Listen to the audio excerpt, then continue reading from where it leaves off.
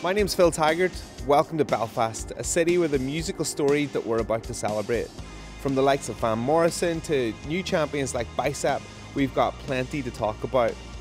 Belfast is a seaport in the north of Ireland that's been shaped by grit, conflict, and so much creative energy. The city has given us great songwriters, it's given us remarkable characters, and it's got venues that you'll want to spend all your time at. Music is helping to define the new Belfast, and happily, there's a place that's bringing the story to life. The OUA Music Centre has been based in Belfast Cathedral Quarter since 2007. It started life as a whiskey warehouse and then became the home for Outlet Records in the 1980s. That energy has been sustained by the oh OUA Music Centre, a place to nurture new music and creatives. In a little minute, we're going to be going on the Belfast City bus tour, but before that, we're looking into the history of Northern Irish music here at the exhibition in the oh OUA.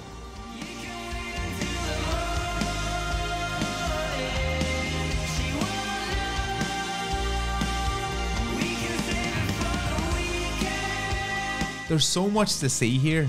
In 2009, Oh Yeah launched the first version of the Belfast Music Exhibition, and it continues to grow as new items are added.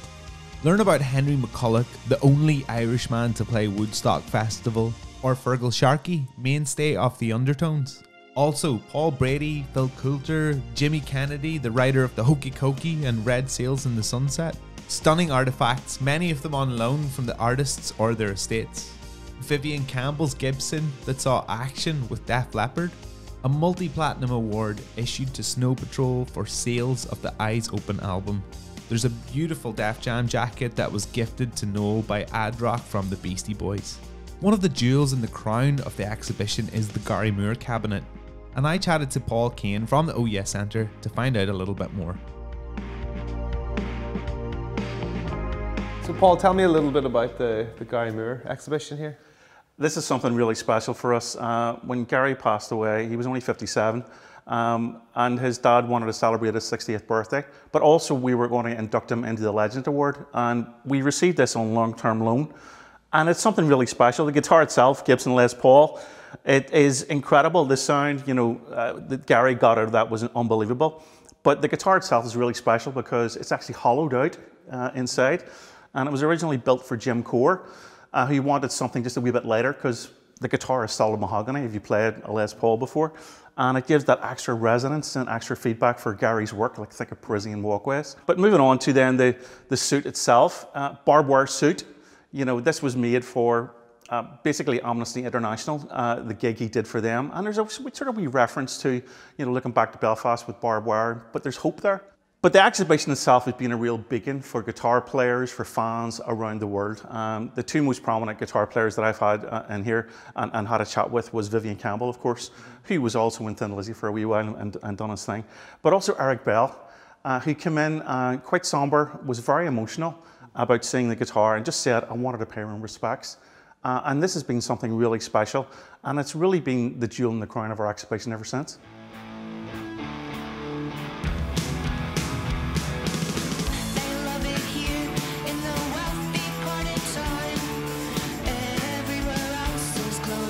Belfast punk was one of the most intense forms of the genre, railing against sectarianism and the horrors of the conflict.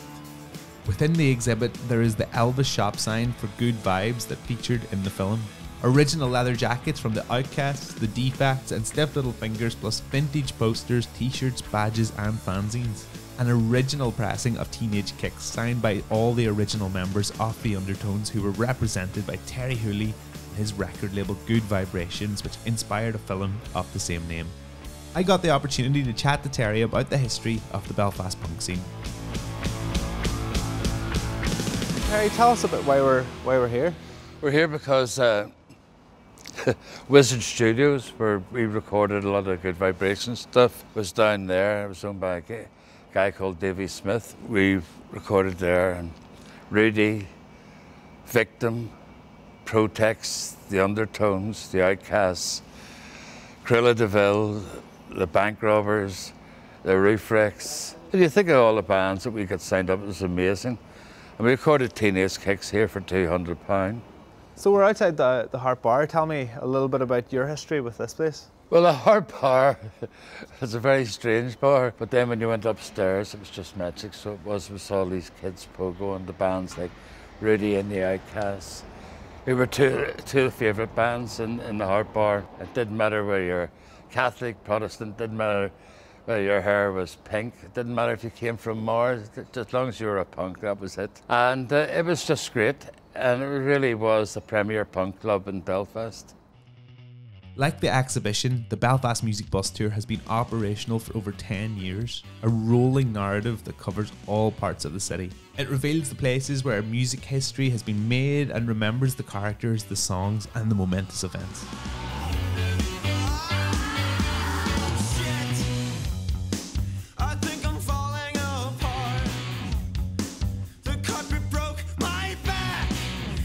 Ulster Hall is a legendary place, a rite of passage for every music kid, and a trove of great stories. We caught up with Paul again to find out more about the history of this iconic venue.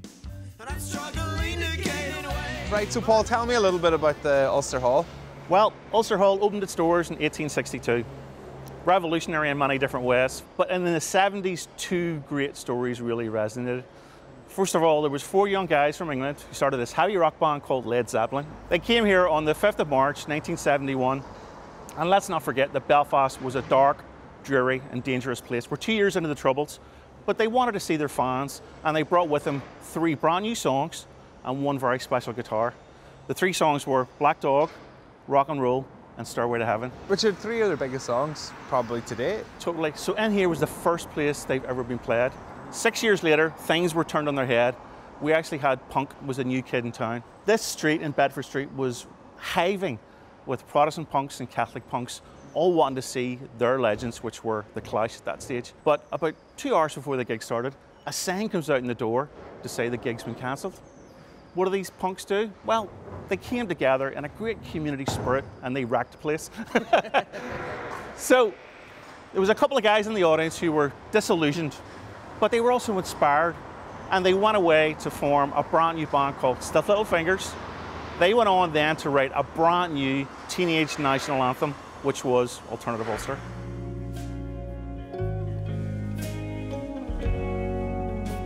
On the corner of Donegal Street lies the old Northern Bank building, a building unbeknownst to most, which is steeped in musical heritage. I spoke with local harpist Ursula Burns, who had the opportunity to perform here herself. Tell me a little bit about this building and the Harp Festival. Well, it's now the disused Northern Bank, a really beautiful venue. Before it was the Northern Bank, it was the Assembly Rooms, and in 1792, they had a really epic festival here, which was they put a call out for all the harpers in Ireland to assemble at the assembly rooms and compete for cash prizes. And 10 harpers turned up. The art form was kind of dwindling at that point.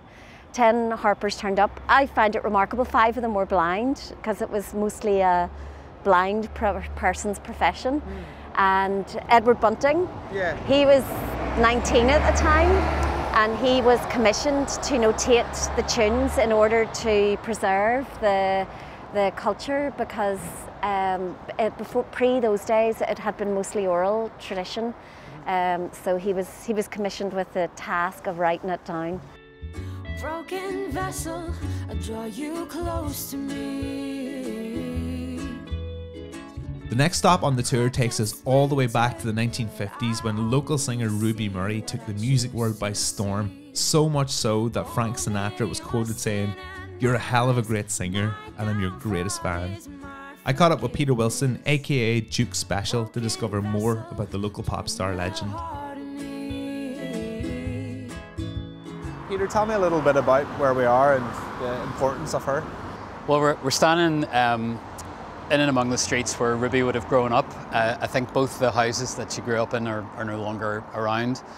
Uh, but she grew up in this, this part of the, the city. From a very young age, she would have been set up on the table to, to sing in, in front of friends and family. Um, her father was very um, enthusiastic about her abilities, and uh, she had, a, from a very young age, a very kind of soft, um, uh, voice, and, and she was very shy, but but she loved singing. And she was really the first kind of pop star to come from Belfast and the first big TV star. In 1955, she had five songs in the UK top 20 in the same week, which was only equaled when Michael Jackson died, and then all the, the downloads and streaming equaled that. You know, at her height, she was selling like over half a million records per month. Wow. And, and, we're talking like at, initially like the hard, heavy 78s. So just phenomenal kind of success um, for a wee girl from here.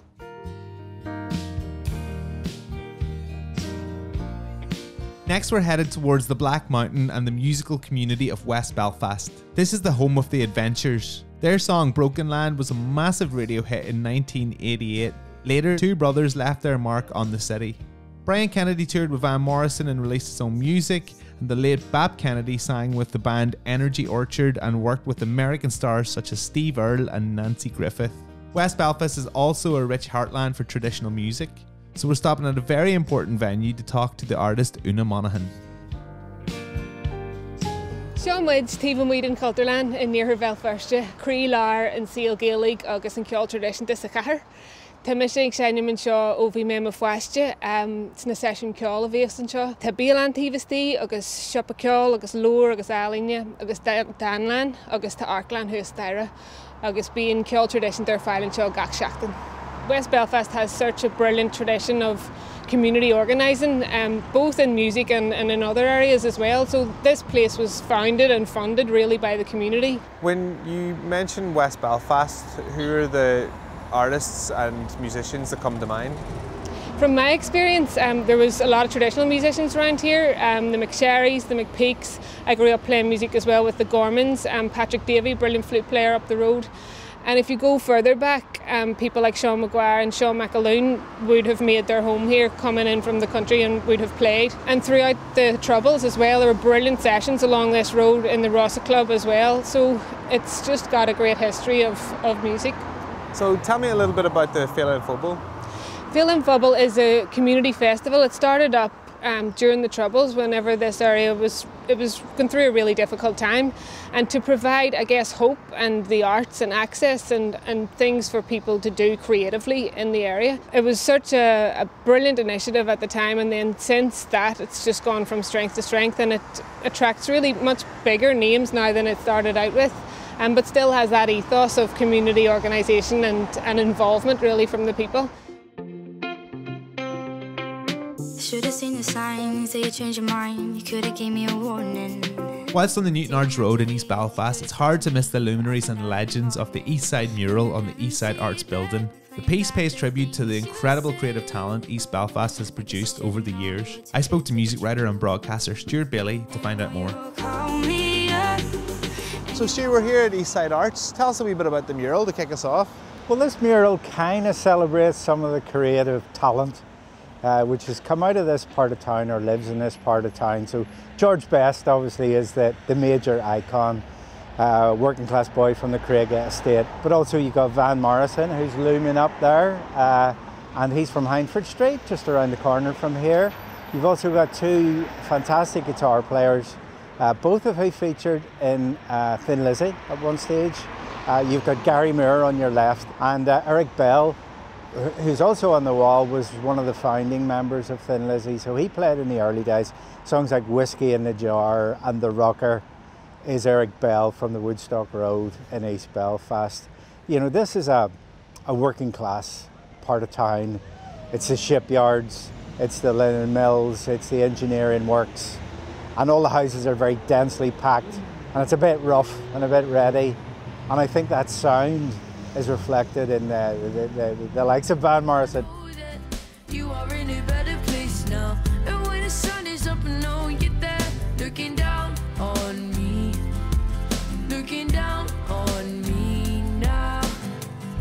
Described as Belfast's own Penny Lane, Cyprus Avenue is a beautiful tree lined Victorian boulevard and the subject of a classic Van Morrison track on his 1968 album Astral Weeks. It's also the location Van Morrison chose to perform two live shows in 2015. We caught up with the singer Dana Masters, who performed with Van Morrison during these shows to discover more. So Dana, tell us a little bit about Cyprus Avenue.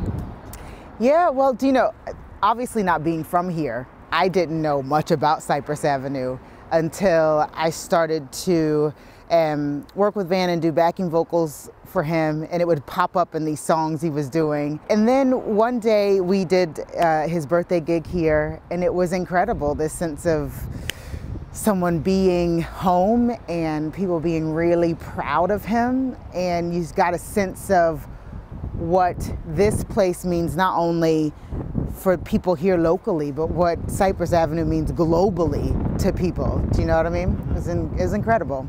So how does this place resonate as a, as a musical landmark to you specifically? I feel like because I, I sort of started working with Van six or seven years ago and I was still getting to know Northern Ireland at that stage. Do you know what I mean? Mm.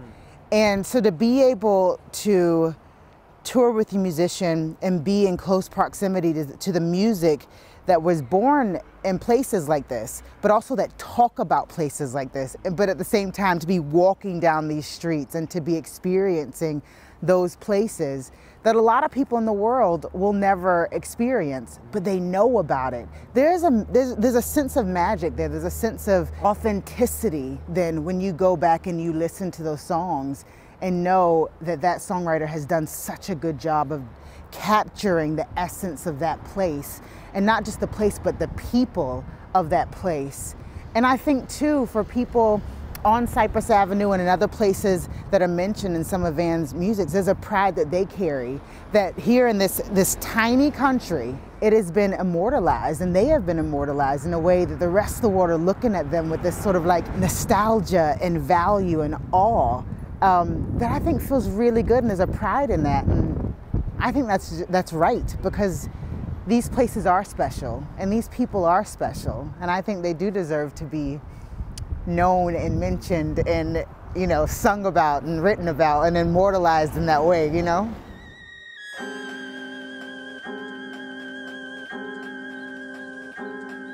These have been a few of the iconic music locations throughout Belfast. And of course, there's plenty more stories to be told. On the Oh Yeah bus tour, you will also visit sites such as